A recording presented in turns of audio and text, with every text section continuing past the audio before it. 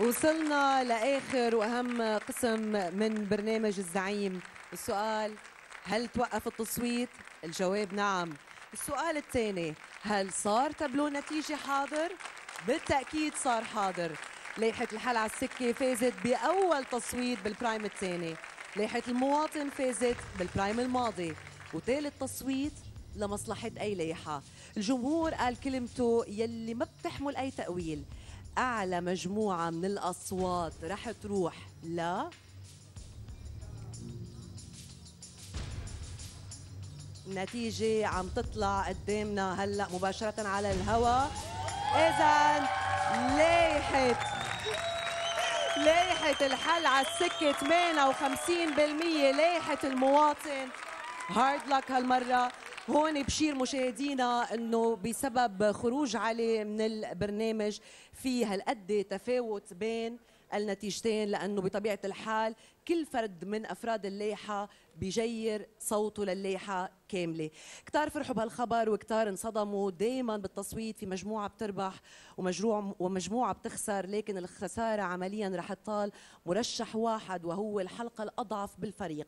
فمين رح تختار لجنة الحكم؟ هيدا يلي ناطرين نعرفه بعد ما نشوف آخر تقرير عن ورش العمل والدروس الأكاديمية بس بمقر الزعيم.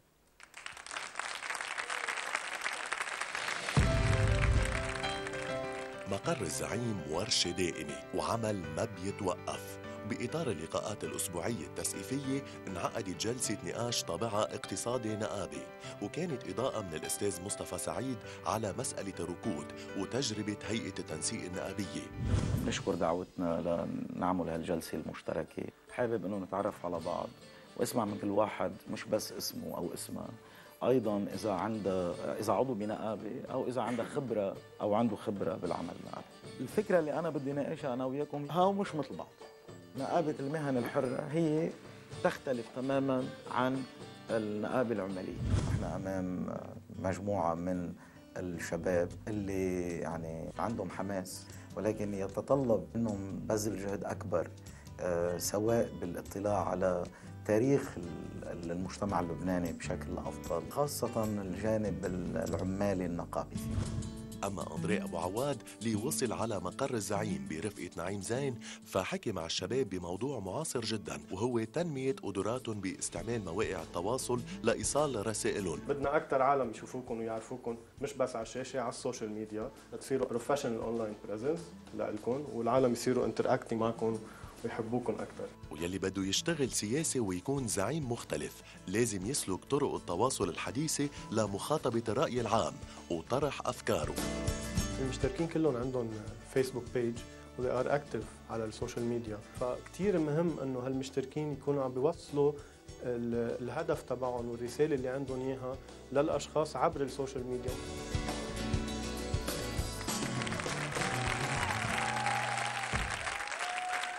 إذا وصلنا هلأ للحظة الحاسمة يلي من خلالها بتقرر لجنة الحكم أي فرد رح تستبعد من اللائحة ولكن قبل ما انتقل لآخذ رأي اللجنة رح بلش معك نيكولا بسؤال وبدي جواب واضح عليه. مين برأيك الحلقة الأضعف بفريقك؟ بتصور أنا هيدي المرة. هلأ عم نعمل بطولات؟ لا لا مش بطولات لأنه حسب ما فهمت وحسب ما شفت أنا كنت قاعد. رانيا.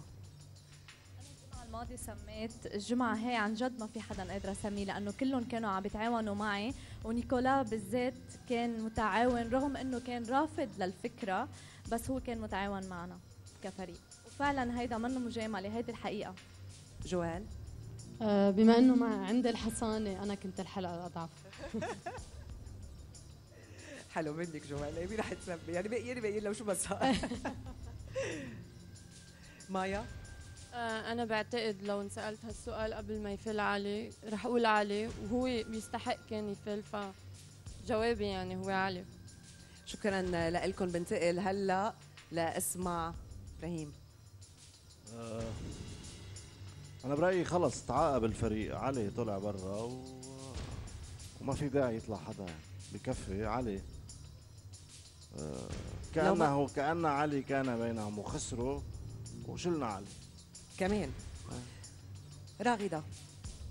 أنا بفتكر إنه آه، هاللائحة هيدي دفعت ثمن ثمن كبير وكمان علي مثل ما أنا بيقول إبراهيم آه، هو كان الحلقة التي أضعفت الفريق بقى هلا بتمنى لهالفريق إنه فعلا تحطوا إيديكم إيدين بعض وحتى معكم أربعة مقابل خمسة آه آه بتمنى عليكم إنه فعلا تركزوا على الكفاءات اللي عندكم وأنا بعتقد إنكم أنتم فريق قوي كتير. فكملوا. وجوال في جي جي أنت هلأ جوال وفي آه في جوزيف. بقى خلي ذا فيميل جي تقوى شوي. ان شاء الله لا خذ رأي مريم. ال- نفس السياق الفريق انظلم كثير كفى بأربعة و- وفقد آه، عنصر.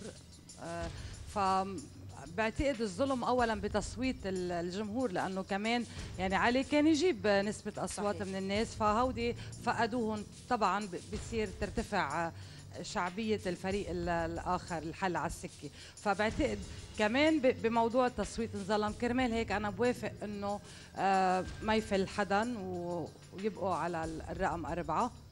إلي؟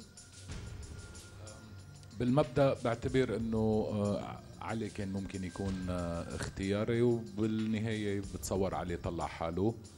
آه، بس آه، كمان يعني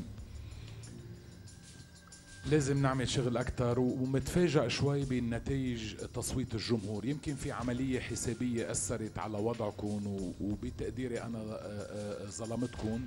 أنا على الأقل كعضو بهاللجنة فيني أعتبركم أنتم كنتوا ربحانين.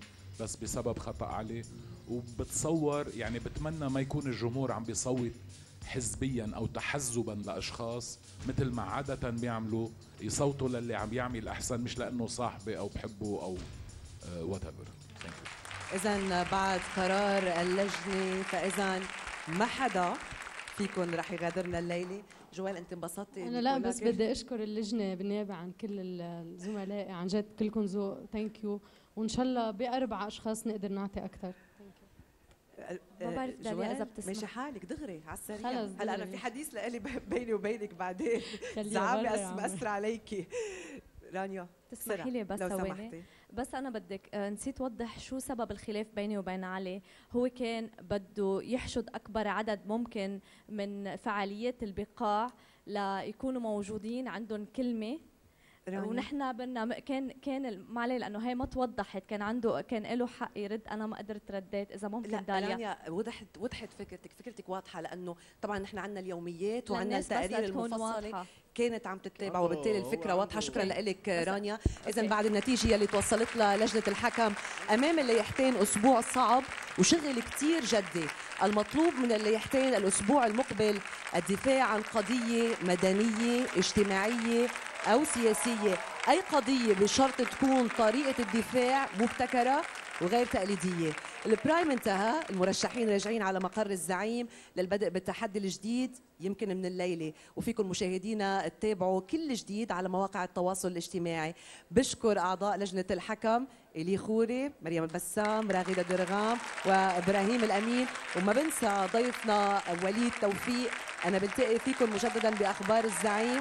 من الخميس للأحد مباشرة بعد الأخبار. خليكم معنا ومع البرنامج الأول من نوعه بلبنان والشرق الأوسط والأكثر إثارة للجدل. الزعيم تصبحوا على ألف خير.